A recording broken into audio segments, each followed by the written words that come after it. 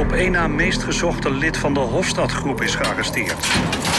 Ze zullen best eh, wel eens bij me geweest zijn. Een pakje sigaretten, misschien een kammetje bananen.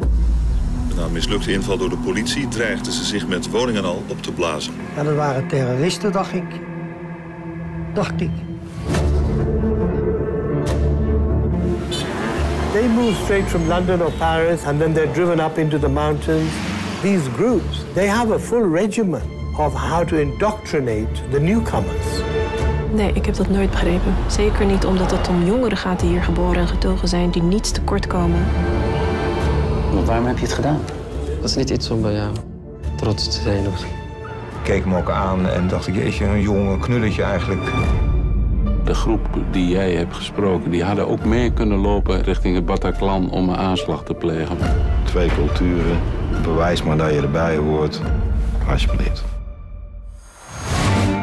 Nu gooit men alles in één en dezelfde vuilbak. En de vuilbak, daar staat op terrorist.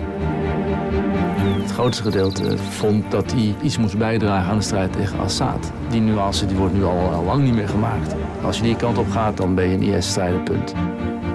Jason zegt dat hij eigenlijk min of meer de Koran afzweert. Pardon? Je moet achter de façade gaan, achter de woorden. Gelooft u hem meteen? Ja. Op zijn woord. Ik geloof niet in die hele deradicalisering.